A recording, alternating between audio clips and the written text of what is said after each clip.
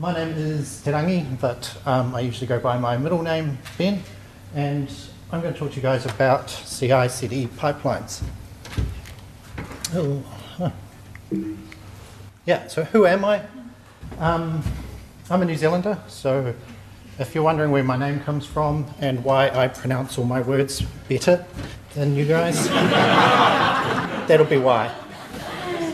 Um, but yeah, so I've been in the industry, the software development industry, for about 15 years now, um, working across quite a broad spectrum.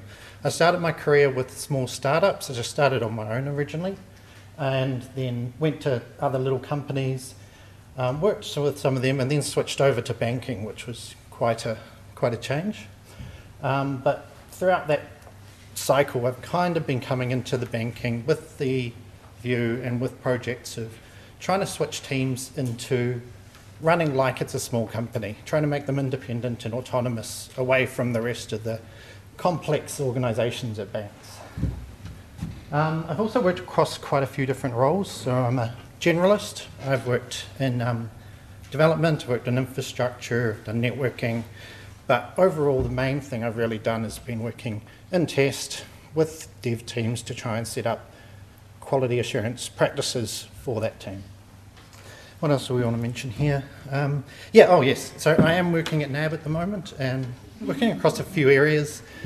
The current team I'm in is the, um, what do we call it? Quality engineering. So I'm working in the innovation space, trying to get some new tools and shake things up a bit. If you want to get in touch with me, there's a couple of QR codes on the screen now. I'm available on Freenode IRC and on LinkedIn. Just due warning, I typically take a while to respond to stuff, so if you just fire up a message, it might be a couple of days before I do anything, but I will have a look. Um, a few people have done the raise your hand stuff, and it's a bit late in the day, so I'm actually going to go the extra mile and get every single person to stand up to now.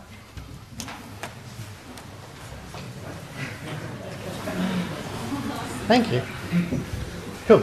So I'm pretty sure that you're all here to learn about testing, unless you were looking for like a wine shareholders AGM, in which case you're in the wrong space.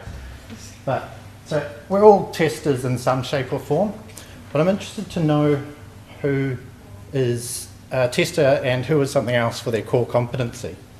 So if you are no, Oh. It's a black screen. Oh, there we go, something. Okay, so if you're a tester, sit down. If that's the main thing that you do. Cool. yeah, so the main thing you do is testing. That's cool. So that's a massive portion of the audience today. How about programmers? If the main thing you do is programming for your team, Sit down. Cool.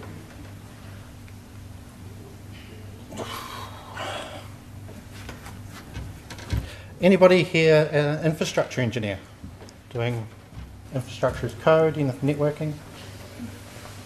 Some people maybe? Whoa. Reliability engineers. Anybody got that title? Nope. What's the difference between reliability and quality? Maybe another talk. Um, business analysts. Cool. Others. So, who are you guys?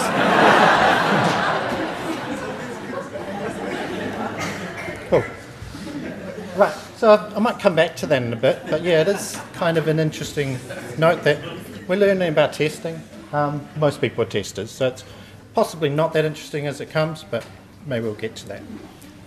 Um, so when Cam and organisers reached out and asked me to talk about this sort of channel of stuff, I really did want to talk about DevOps in this space because for the first half of this year I was working for NAB Cloud Guild.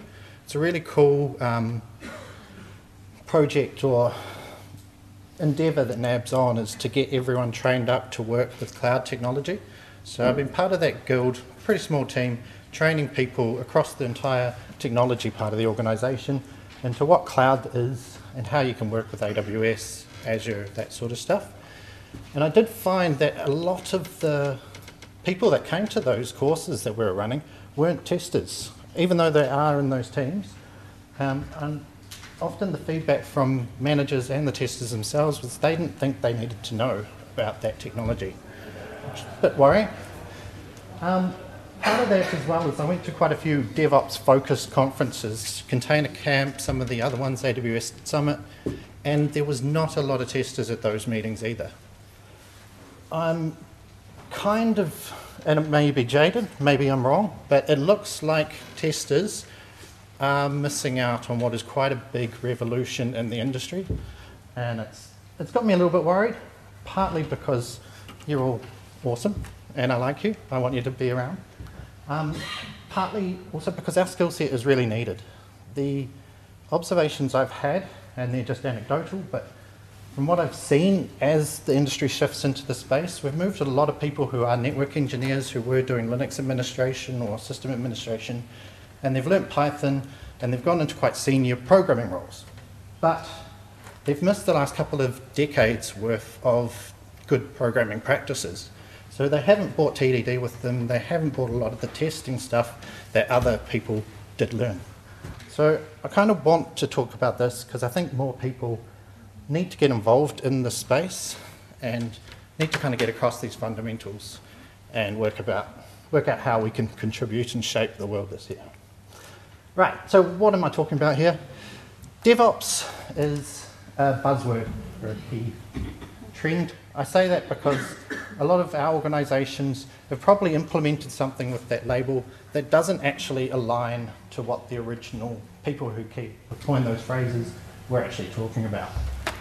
Um, what I'm going to summarise DevOps as here is the alignment of development and operations. So if you've seen the worst case scenarios where you've actually got people in development, they're just part of projects, they spin up, make some software, ship it out. They've got no responsibility after it's been pushed out, and it doesn't matter if it breaks constantly or not, they get promoted and they move on. Um, and on the other side, operations are assessed on KPIs of keeping stuff stable. So they don't want stuff to change.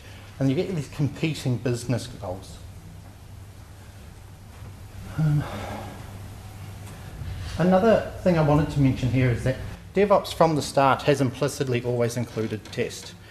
The other terms like design, dev, sec, test, busy, ops just isn't as punchy. So we've always wanted testing to be included in the space.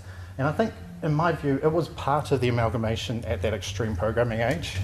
And it was also kind of included in Agile. Most of the people in that room, when they came up with the manifesto, oh, a bunch of them were testers and test-focused people. Um, so it's always been there. It isn't supposed to exclude us. It's just part of the dev as part of that group was considering. Um, the revolution that we're seeing is that part of it is challenging teams to work cross-functionally, either as cross-functional teams or as cross-functional individuals. And testing is definitely getting wound up into that. For teams that are getting quite mature in this space, CI/CD pipelines, which is what I'm going to talk about in more detail soon, are the what I consider the automated SDLCs for those teams. So they're the systems that used to go through that single cycle. We just pulled it out and now we made it look like a infinity figure eight sign, but it's basically could be unwound into a spiral as well. So what is that? CI/CD. So Continuous integration is the first portion of that, and that's the key part. You can't really to get onto your CD side of things until you've really got CI started. CI for testers is, in my view, um, for tests that validate if the application will work.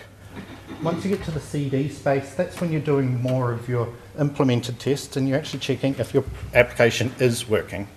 I'll talk about what that means soon.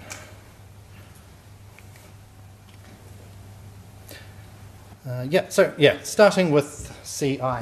This is an example of a what typically might be in your CI pipeline. You'll start that system with a code change, Inside that pipeline, you'll run through a number of automated checks. I don't know why one's coloured different colour. I think that was a mistake in my um, text. But yeah, so typically what you might start with is dependency checks, things like CVEs, lookups to see if your systems have any bugs or security issues known on the World Wide Web. Um, run your unit tests across that code base. Do style checks and linting.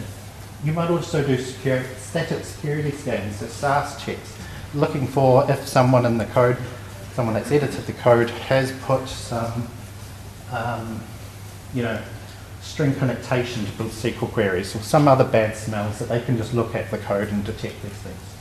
After that, you'll compile your code or assemble whatever thing that you're working with. Once you've got your application out of that, you can run your black box tests, application load loader performance tests, contract tests, anything else that requires the application to be up and available to use.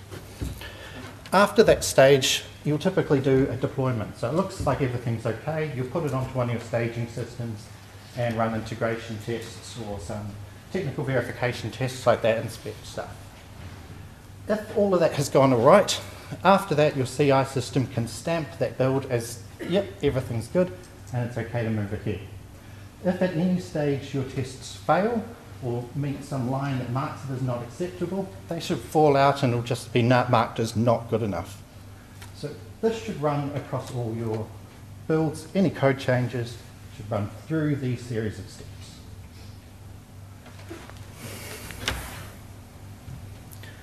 Um, so some of the feedback I do get from people who are new to this is um, that looks a lot like what I do.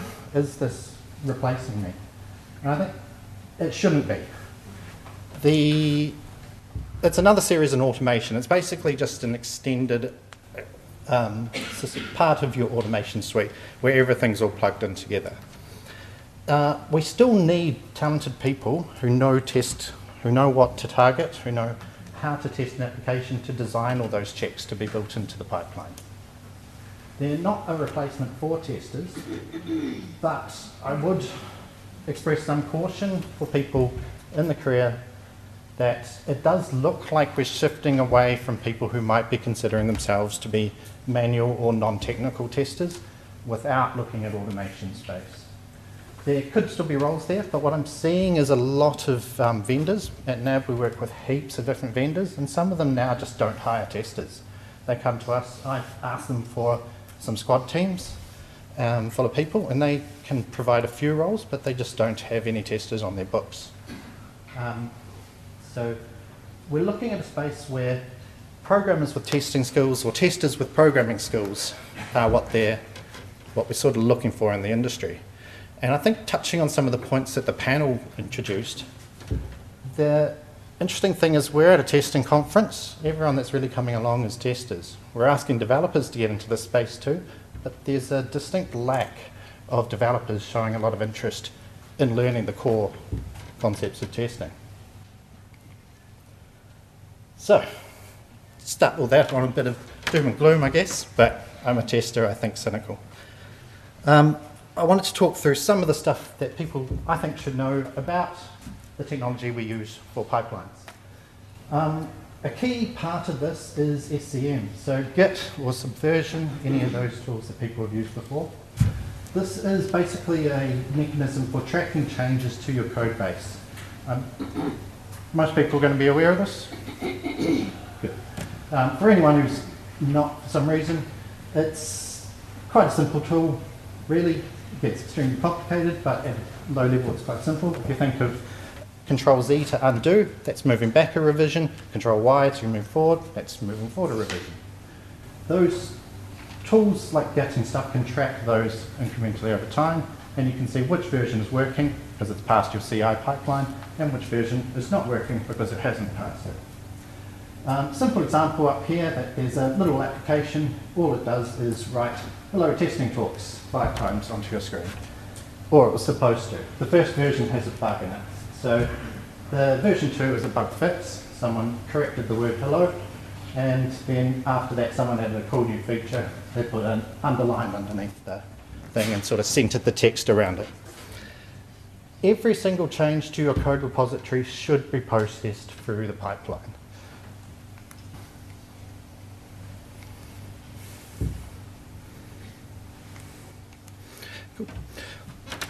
Um, and there's a number of ways to do that. So you should make sure that this is an automated trigger that starts your pipeline. Shouldn't try and do this manually. If you still log into Jenkins or your box or something and run the pipeline, that should be something you start addressing. So it's quite a simple thing and it just means that all of this can happen in the background and you can get a lot more peace of mind. Um, run your application through that. Um, don't rely on. Okay, I've said that. So there's two typical ways you can do this. The first of them will be to start with um, webhooks. If your system can talk to your build machine, this is the best way. So example up on the screen here has GitHub. In that case, you can specify the URL to hit. Every time you push a change to GitHub, it'll send a message to that build machine and say, I'm I've made a change, please verify that this is good. This is the best way to do it because you're only doing one network call every time you make a change.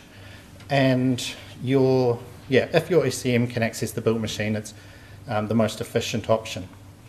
If you don't have that access, um, less efficient options are to poll your change, your source control from your pipeline.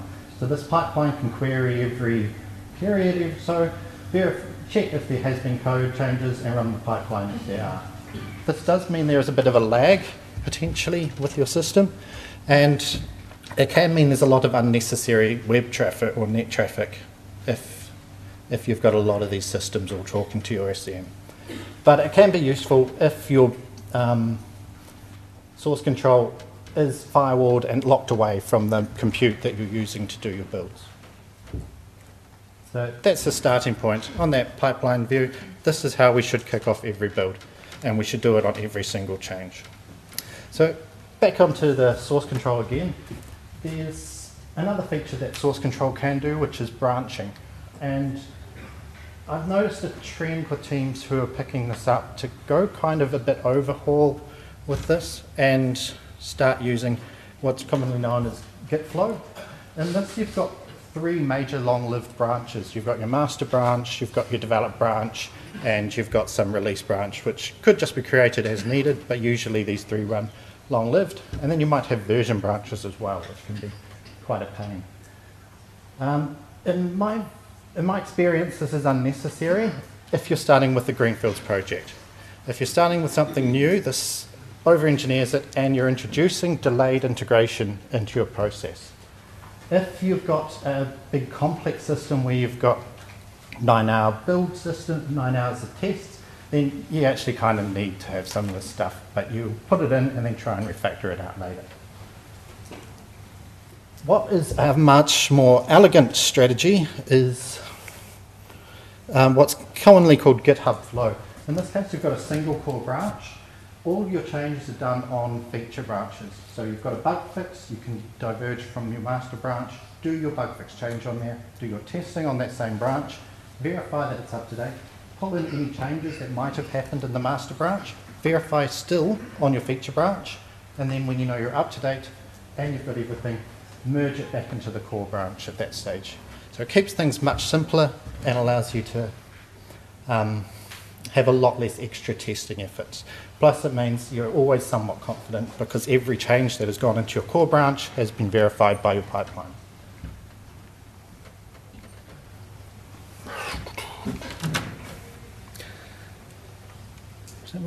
Yeah, okay, so pass that one. Um, another thing that I wanted to talk about here, and this again also came up at the um, panel, um, my view on where we should be differentiating between automation and not automation is along the progression and regression lines. So I see progression as requiring quite a lot of one-off extra tests. Once you're adding a new feature, you'll want to do a lot more investigation into that particular change. Part of that change is going to involve exploratory testing. Um, due diligence checks, like when you're looking at your programmer's tests, reviewing that the unit tests are there, um, checking that any of the other required checks that you need to do have been done. Um, it would also involve building those automated tests that will become part of your regression suite. So what I'm proposing is that every regression test, every function that you've built into your product already, should be maintained with automated tests. And you should do that with some structured pattern like BDD or ATDD or um, anything else like that. It really shouldn't be an extensive check because you've done your thorough investigations in exploratory mode. And if you're updating a significant amount of code, you might do a bit more as part of your progression. But for the most part, all those regression checks need to do is prove that something you've already built has not regressed. The Beyonce rule has become a bit of an industry term for that coverage. If your business or your customers have paid you to build something, you need to be confident that it is always maintained. If you don't have automation, if you require someone to manually do it, manually verify that that feature is maintained for eternity, then things are going to get flaky. Someone most likely skip it, or you'll end up with so much manual testing that you just can't keep up with the pace that your customers need you to do. So it's worthwhile investing in that extra effort, making sure that test is part of the build. Um, yeah, so like the song doesn't go, if you like it, then you should have put a test on it. Badly designed test suites are the worst thing for CI pipelines. If you have an extensive set of tests that takes far too long to run, then you really need to fix that before you start working on any other parts because that's not the bottleneck in your process. The bottleneck in your process is going to be um, those flaky tests, tests that run too long, and it's a, usually an indication that you need to start reviewing how those tests are designed and where those tests are being focused. So we've already looked at the test automation pyramid today. I quite like this view just because every single test strategy I've come across has the test automation pyramid in it, but then I go and look at the code and it doesn't necessarily reflect what the team's goals are. So to reduce that, target your tests at the right level. Um, in this simple example here, we've got an email validator class. So it's a function or a piece of unit inside your code that validates if an email is correct. You can push all the single, all the data permutations and testers in the room will definitely be able to think of some other ones that, that other than the ones I've mentioned. But think of all the different things that it needs to validate as true or false and push them against that unit. When you get to your interface tests through your GUI, through your REST API, you don't have to test every permutation. That's going to result in a flaky, complex test suite um, and one that is probably going to take quite a long time to run. All you actually need to validate at that stage is if your validator unit is being called by that interface. Um, so you can just pass in a good one and a bad one and make sure that the module is being accessed. You know the app module works, so you don't need to exercise it again because you can see at the unit level that's being done. Collaborate with the rest of your teams to get that coverage. Don't go over the fence, don't try and put all your testing is a black box coverage. Understand what's been done earlier and try and leverage that to make your tests efficient. So that's regression testing and how we can really optimize that. The other side of things is progression testing, and I wanted to talk about how that might fit into your pipelines. So progression testing, like I defined in my view, does include a lot of stuff that are kind of manual tests, one-off tests. Um, those don't have a lot of time in the pipeline to run it. You don't want to start your pipeline, then stop to a manual stage and go, okay, tester A, now go run all your manual tests and click the next button. You can do that for a while and it might help you shake out what your pipeline is, but overall you want to try and build those into the earlier parts of your build process itself along with coding. So you don't really have time for that during the manual for the execution time. You still need to do it. You still need to do those investigations. You still need to review your programmer's unit tests.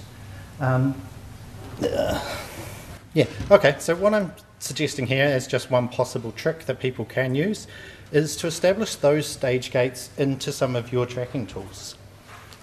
Um, um, and then use automation just to track that some of those stage gates have been delivered on. Bit of a walkthrough that might, might click into. So one possible option, and this is just um, just a possible implementation. I'm not necessarily saying you should definitely use these exact tools or this exact process, but something along these lines could work for many, many people if you have this problem. So you can associate your changes with the tracking system. There's a number of ways you can do this. There are tools that align Git with um, your Jira tickets, for example, or something else. But I found a really easy way is just to put the story code into your Git branch name. So illustration down here, there's a Git checkout command where we're, we're making a new feature branch with the name of this um, story in it. In this case, it's some cool feature where some application is going to get more cats. After that, establish a convention with your team. You can, as long as it's agreed on, it doesn't really have to be anything like this. This is one possible option. So in this case, I'm proposing a pattern where your team have all agreed that the label unit testing confirmed is going to be the sign-off point saying, yes, I've definitely done this. Um, story has had the unit testing confirmed on it because that's one of our manual stage gates that we want done on every single change in our process. So after the test has done that change, they can go into JIRA, they can apply that label, and that way there's a sign on the audit history saying, tester Ben, put unit testing confirmed on there. It's auditable, it shows that somebody did it, and if it was done by someone who wasn't supposed to do that, then you can kind of find out who did it, who and why. Um, once that's on there, you get visibility on your Jira ticket, so that's quite useful. After that, inside your pipeline, you can use the Jira API. So I chose Jira because it's an API that I'm quite familiar with, but any of these tools, or many of these tools, can probably do this. How's, how's Qtest? Does it have an API? Maybe. Um, any of these tools may have some options. Um, worst case scenario, you can call the HTML interface and you can just scrape that.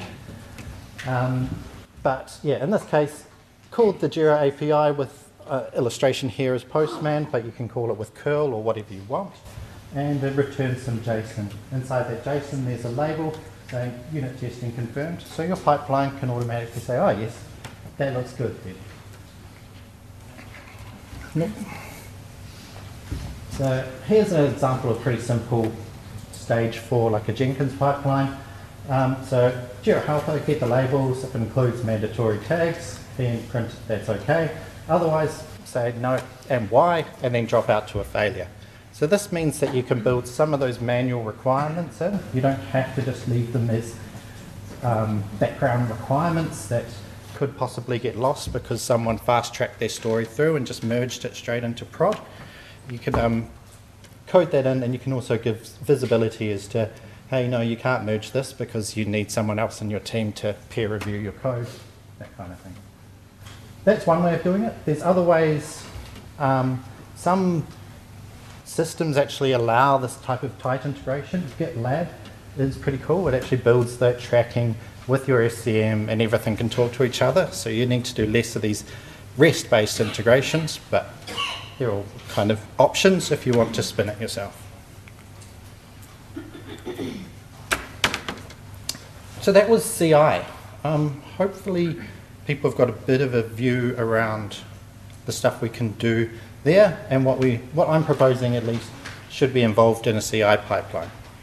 At the end of that, you've staged your code, you've run your static tests across it, you've run your black box tests across it, and you're pretty confident this is going to work this is where you're ready to go into your um, CD process.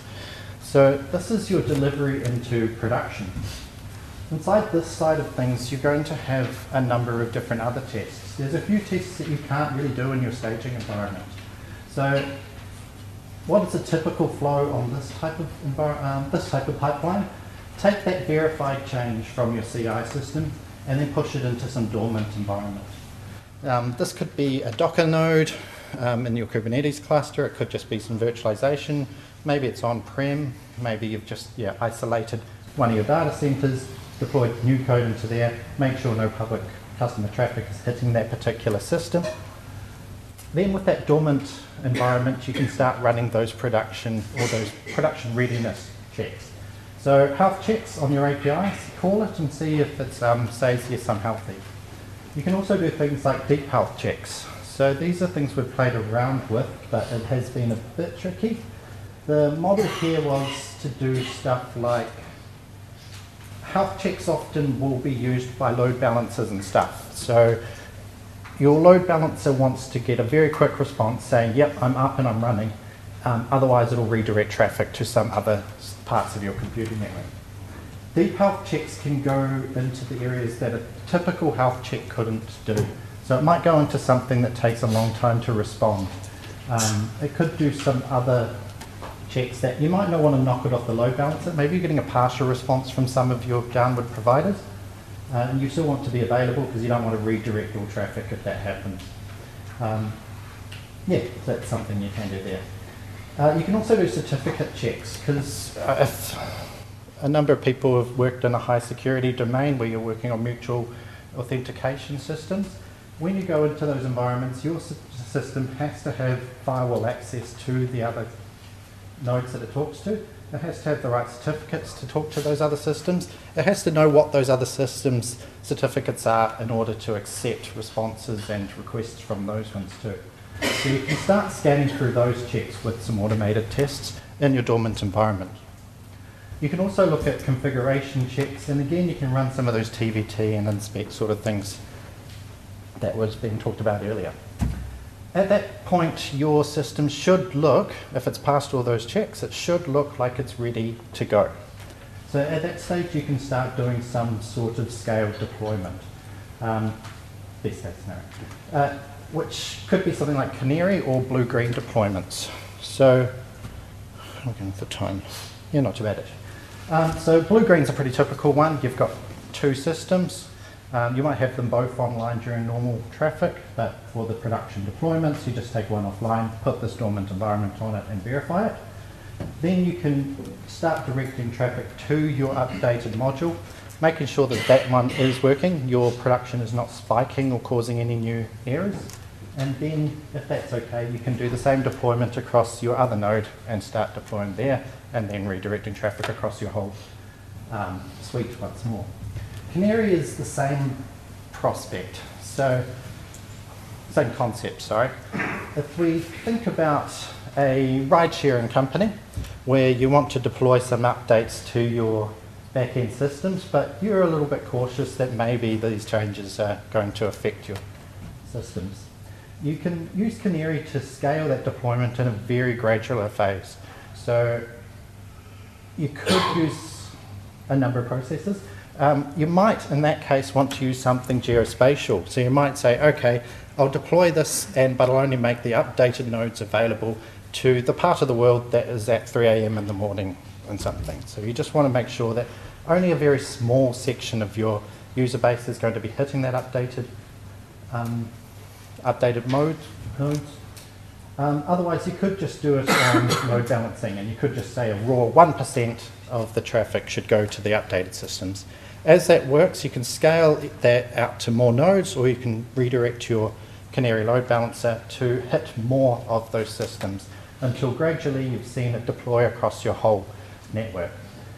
Um, the advantage with that is if you do have issues, you can do that rollback. You can identify that suddenly errors are spiking. We don't want it to hit everybody, so we can pull it back a bit. Um, and yeah, the last phase of that kind of couples closely with that, where you've got monitoring to track how that deployment's performing in your production environment. The monitoring could also be used quite extensively post, um, post the deployment. So if we're thinking of design tests, you might be doing A-B testing where you've delivered four different features to your customers and you just want to check that it's all um, which customers had the best experience or utilised the product in the best way that you could, that you wanted. At the end of that, everything looks peachy, so yay. Otherwise, automate that rollback.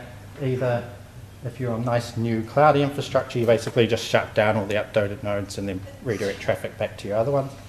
Otherwise, no. So that's a typical view of a CD pipeline, which can pick up stuff after CI. Some tricks I'd suggest um, kind of being aware of, or some ways of thinking to be aware of when you're working in this space is to start thinking of deployments and releases as two separate things. You're, if you're releasing quite occasionally, then those are probably the same thing. You're only going to be doing deployments once a week. You're probably getting new features out to customers once a week. You want to break those apart because if you're deploying hundreds of times a day, you don't want that to make an impact on your customers every single time you do that. So you want to pull out some of that requirements and only control actual new features going to them or changes affecting their UI if you on particular less often occasions. Um, ways you can do that, feature toggles is a really good way of controlling that. So if you're doing those regular deployments, encapsulate your code, um, encapsulate your new features inside configuration-based toggles. So if you have a awesome new feature coming in, but it's not quite ready for your users to start using yet, put a feature toggle around that and protect it. One area where you might be careful with this is if your toggles are on the client side, if you're delivering updated code to your users, user, uh, to your users on the client, um, but you don't want them to know what those awesome new features are, then this can be a bit of a hazard because putting this on to that client code and then delivering it to them, there's a number of people out in the wild that will find that updated code and they will start um, playing around with it, releasing press notifications and leaks and stuff. Um, another suggestion I'd also have for test audience is make sure you clean away all that code when you're actually releasing that feature. Don't just turn the toggle on because that's going to involve quite a lot of unnecessary complex logic inside your application. So rip that out and just have the feature on. Also suggest testing with those toggles on plus the desired feature state. So that will allow you to verify what you're targeting, plus if you're going to have conflicts between some of those toggles when they all do get enabled. That's it. Thanks.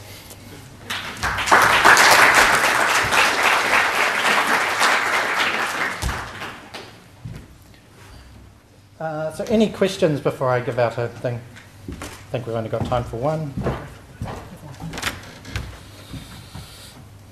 All right, cool. Uh, I have one question. Okay. It is about like uh, while uh, we were discussing about the pipeline, these are the things we need to do. Uh, we talked about load testing as well. So my question is like if we are doing some cosmetic changes in our code, so uh, cosmetic things that I mean to say any changes to the UI. So in those scenarios as well, like should we consider all the stuff like uh, doing all the type of testing, load testing, or Cool. So the question is, if we're if we're making cosmetic changes to a UI, should we run an extensive set of exactly? full changes across the application? Um, ideally, if you've got an efficient enough test suite, it just shouldn't matter. It should be easy enough to run the whole suite across it. That it's easier just to do that than to try and tailor it down to those changes. If you don't have something that is so optimized, then maybe you do. Maybe um, it depends, which is sorry a cheat answer. Uh, but you can also I'd also suggest that if you have just that level there, try and isolate that into a smaller portion of code. That way your changes are only testing the part that's actually relevant to that and you don't have to test your whole stack.